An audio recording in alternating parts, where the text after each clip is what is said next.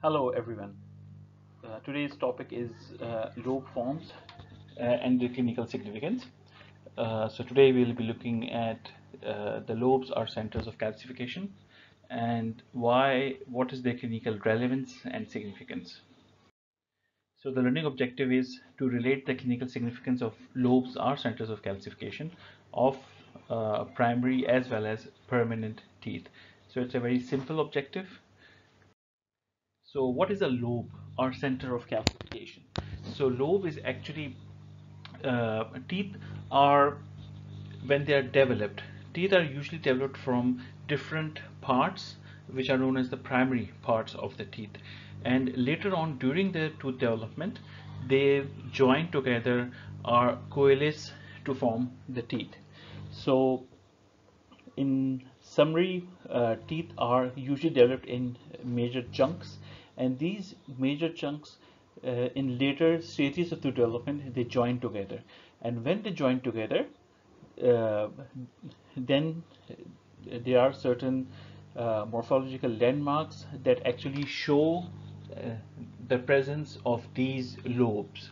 So and these anatomical landmarks are known as developmental grooves or developmental depression. So as you can see uh, this is a uh, this is an anterior tooth uh, that is being developed from four different parts. So the three parts they are they belong to the facial surface and one part is from the lingual surface. And all of these parts when they join together when they coalesce together then they form the tooth. And this usually happens when uh, the whole of the crown is formed and when uh, at least one third of the root is also formed. So before the teeth actually emerge into the oral cavity they join together or coalesce to form a tooth. So tooth usually develops from different parts and these parts are known as primary parts of the tooth.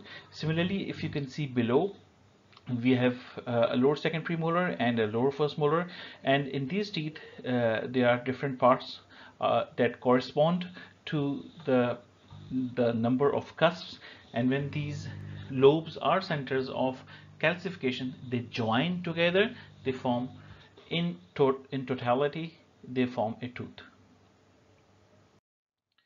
Okay so um, in permanent teeth uh, they usually develop from at least four or more centers of calcification.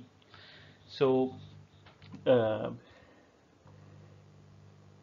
this is an example of a maxillary first premolar that has two roots and uh, it has two cusps. Uh, the developmental grooves are developmental depressions.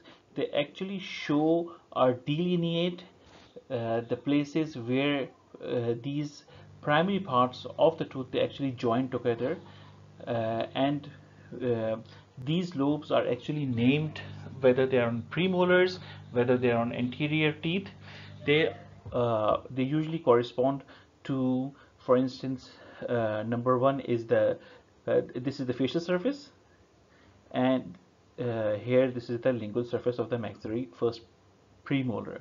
So so the first lobe is the mesial or mesiofacial lobe, which is followed by the middle lobe, and then we have the distal or the distofacial lobe. So we have three lobes on the facial surface and one lobe on the lingual surface. So uh, this usually corresponds to four lobes or centers of calcification.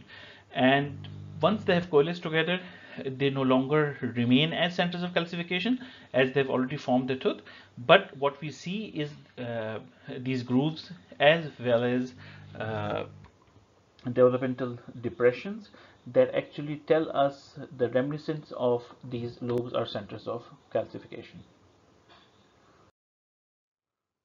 Okay, so we have talked about developmental grooves and now developmental depressions. On anterior teeth, as you can see here, and on the facial surfaces of molars as well as premolars uh, what we see are developmental depressions. And these developmental depressions are negative anatomical landmarks and they are well defined they are recessed or concave area and they actually show the different primary parts of the crown or the roots.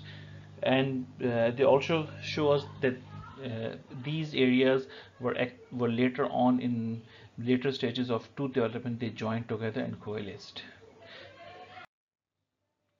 Okay so as far as uh, lobe divisions are concerned and uh, developmental depressions here you can see developmental depressions between between uh, the lobes in the anterior teeth. So this is a developmental depression between the middle lobe and the distal lobe and here there's an, another developmental depression between the middle lobe and the mesofacial lobe.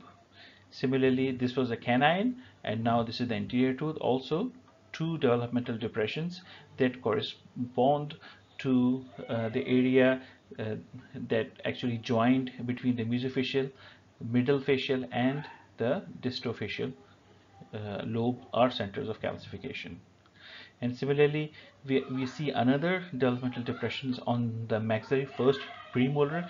And this depression can be seen this longitudinally uh, on the crown as well as uh, the root.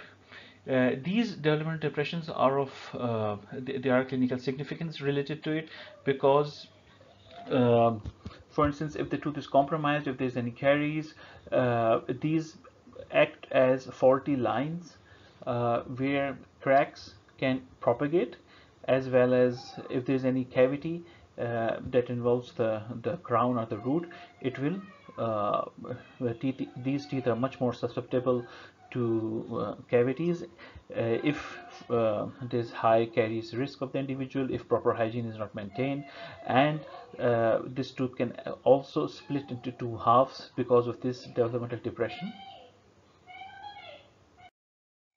so um, the negative anatomy of teeth.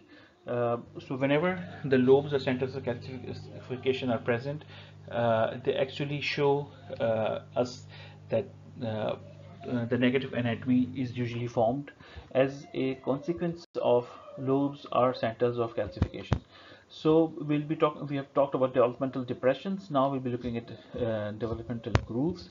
These grooves can be either primary developmental grooves if they are present between the primary parts of the tooth similarly here they are developmental depressions and uh, they can be supplemental grooves so supplemental grooves are those grooves that actually emanate uh, from uh, the primary parts of the tooth or from uh, the areas where they have already joined together uh, and they do not delineate primary parts of the tooth so supplemental grooves are accessory grooves they are an additional grooves that uh, actually start from uh, the primary grooves and they uh, reach other surfaces of the tooth.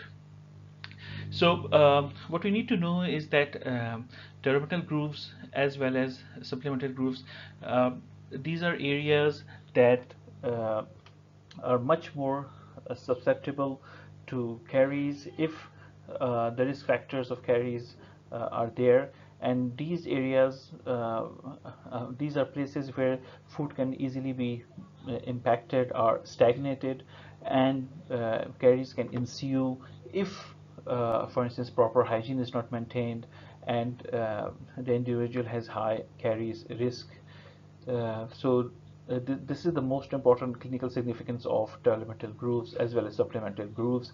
And fissure caries is a type of caries uh, that uh, develops or emanates from uh, these developmental grooves.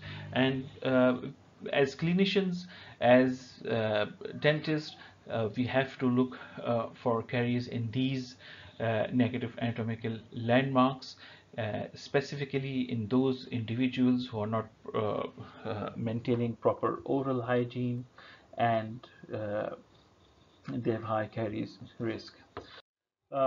So in summary, the permanent teeth, they either develop from four or more centers of calcification and these centers of calcification are lobes uh, they actually delineate or demarcate the primary parts of the tooth. Here we have uh, a mandibular molar and we have a maxillary molar so in anterior teeth we have already talked about we have three uh, four lobes three on the facial side and one on the lingual while on the posterior teeth specifically the molars uh, the names of the lobes they actually correspond with uh, the number of cusps. So if you have a mandibular first molar, so we have uh, three cusps on the facial surface and two cusps on the lingual surface. So the names of the lobes will be the same as the name of the cusp. So we have a mesofacial uh, cusp, uh, a distofacial cusp and a distal cusp. And the lobe uh, from which these cusps were formed are known as the mesofacial lobe the distofacial lobe and the distal lobe. Similarly on the lingual side we have the mesolingual the mesolingual the fourth is the mesolingual and the distolingual uh, cusp that correspond to the mesolingual and distolingual lobes. On a maxillary first molar uh, uh, the primary uh, four major cusps are the mesofacial uh, distofacial the biggest or the largest cusp is the mesolingual cusp and followed by the distolingual cusp. And the lobes are also named same as the name of the cusps from uh, of which they form so we have a mesofacial lobe we have a distofacial lobe we have the we have the bigger mesolingual lobe and then the smaller or the smallest distolingual lobe. Uh, the fifth cusp of Carabelli uh, usually doesn't form a major part of the crown surface and so uh, and it is usually an outgrowth from the mesolingual cusp so it doesn't have a, a specific lobe to it. So the mesolingual lobe forms two structures it forms the mesolingual cusp as well as the cusp of Carabelli so diagonal grooves actually show us uh, where uh, the division of the lobes as the tooth is formed. Okay, so now we'll be looking at uh, mamelons. As you can see, this is a permanent central uh, maxillary incisor and uh, you can see the developmental depressions and the markings 1, 2, 3 they correspond to the mesofacial, middle facial and the distofacial uh, lobes from which these structures are formed. And these are the developmental depressions. And the manif these uh, manifestations of these developmental depressions are exhibited as mamelons and these mamelons are present on the incisal one-third or permanent maxillary and permanent mandibular incisor teeth. So uh, these mamelons uh, once uh, the teeth erupt into the oral cavity and uh, the individual or the child starts uh, starts using these teeth and starts to masticate, these mamelons are worn off uh, due to the normal wear and tear of enamel. But when they erupt in the oral cavity, we can actually see these uh, mamelons, and depending on uh, the frequency of uh, of diet of that individual, it usually veers off. So now uh, we look at imbrication lines and perikymata. So imbrication lines are also negative anatomical landmarks and they result from the overlapping of enamel at the cervical one-third.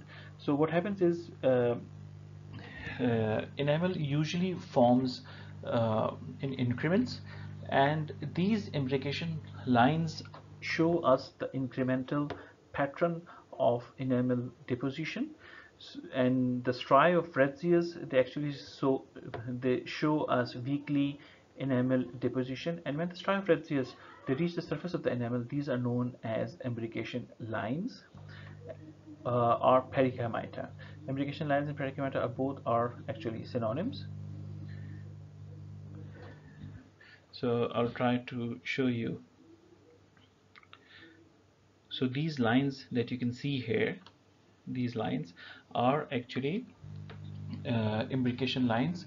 So the lines represent negative anatomical landmark while the ridges that are uh, formed just after these lines are known as the perikymata ridges. And these also uh, they, are usually present in maxillary uh, central incisors and lateral incisors but they're mostly markedly exhibited in maxillary central incisor. Now, uh, I just want to point out that uh, in anterior teeth, be it incisors are canines, we have a, fourth lobe, and this fourth lobe uh, is represented by the cingulum of teeth.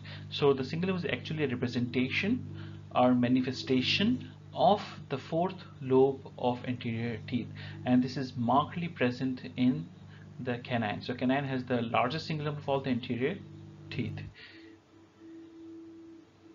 Here we can see of central incisor and this is the cingulum here and the cingulum represents the fourth lobe of the anterior tooth. Finally, uh, we'll be looking at uh, the primary dentition. Primary anterior teeth, they usually form from a single center of calcification or lobe. And since they develop from a single center of calcification, there's only one primary part of the tooth and since there's only one primary part of the tooth, it means there are no developmental depressions, there are no developmental grooves and there are no mamelons. So in primary anterior teeth, there uh, we don't see any mamelons, we don't see any developmental depressions because they develop from a single center of calcification. But this pertains only to uh, the primary anterior teeth as the primary posterior teeth they have cusps they have different cusps and they uh, form from different centers of calcification. Either there are four or there are five depending on the number of cusps. So we have uh, uh, different centers of calcification in primary posterior teeth but not in the primary anterior teeth. As the primary anterior teeth they develop from a single center of calcification. Uh, I hope this has this had been useful.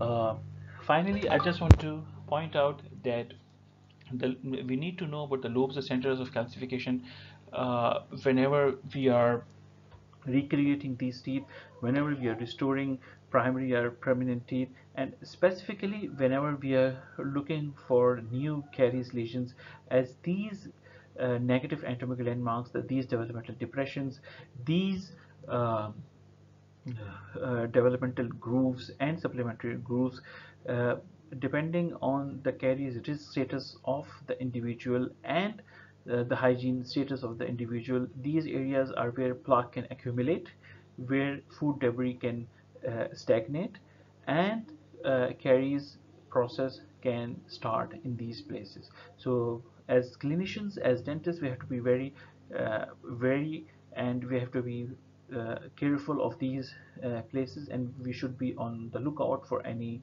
uh, developing caries lesions in developmental grooves, developmental depressions or supplementary grooves whenever we are examining any patient be it a child or uh, an adult.